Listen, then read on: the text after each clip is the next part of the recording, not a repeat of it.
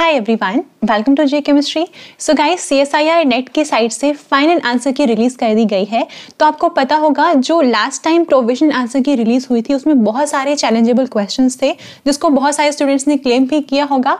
तो उसको देख के यहाँ पे एक फाइनल आंसर की रिलीज़ कर दी गई है। और यहाँ से आप जाएँगे।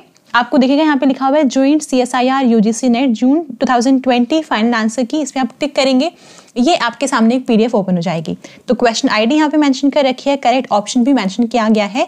तो एक बार मैं आपको दिखा देती हूँ कि लास्ट टाइम जब मैंने वीडियो बनाई थी कि ये वाले क्वेश्चन चैलेंजेबल हैं और इनको हम चैलेंज भी कर रहे हैं तो उनमें ना ऑलमोस्ट सारे ही सही हो गए हैं। दिखाती हूँ आपको कौन से कौन से क्वेश्चन थे।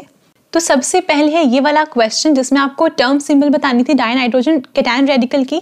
तो यहाँ पर पहले आई थिंक ऑप्शन ए दिया गया था इसका आंसर बट अभी जो फाइनल आंसर की आई है, उसमें ऑप्शन फोर कर दिया गया है इसका आंसर तो फोर मार्क्स आपके ऐड हो गए कॉन्ग्रेचुलेशन आगे देखते हैं। फिर एक ये वाला क्वेश्चन था। पहले इसका answer I think option one था, जो भी था। अभी जो फाइनल आंसर की है, उसमें ऑप्शन टू को ही करेक्ट मान लिया गया है। ये मैंने आपको इसकी रेफरेंस दिखाई थी लास्ट वीडियो में।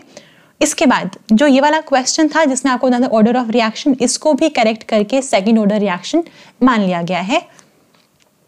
और उसके बाद आता है ये वाला क्वेश्चन इसमें बहुत सारी कॉन्ट्रोवर्सीज थी क्योंकि जो ऑप्शन ये वाला है और ये आपको अलग अलग बुक में अलग अलग जगह मिल रहा था, दोनों के लिए रेफरेंसेस थी। अभी सीएसआईआर ने जो फाइनल आंसर की निकाली है, उसमें ऑप्शन ए को इसका करेक्ट आंसर मान लिया गया है। तो ये चार क्वेश्चंस थे जिनको हमने चैलेंज किया था और इनके आंसर की भी बेसिकली चेंज हो गई है। तो आई थिंक अभी आप खुश हो गए होंगे, सभी अपने मार्क्स वार्क्स बढ़ा लो। पहले बहुत डाउट आ गया था बीच में कि मार्क्स इतने बन रहे हैं, अगर ये करेक्ट नहीं हुआ तो शायद नेट ही क्वालिफाई हो पाएगा, शायद जे क्वालिफाई नहीं होगा। तो अभी तो ये सब एक्सेप्ट हो गया है फाइनल आंसर की आ गई है, खुश हो जाओ।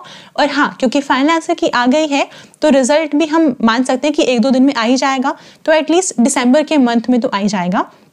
तो फ़िलहाल आपके रिज़ल्ट के लिए आपको ऑल द वेरी बेस्ट अब मैं आपको मिलूँगी रिज़ल्ट वाले दिन जब मतलब ये वाली वीडियो आपको ऐसे वाली वीडियो रिज़ल्ट वाले दिन देखने को मिलेगी. आई विश आप सभी जे क्वालिफाई कर जाओ इस बार.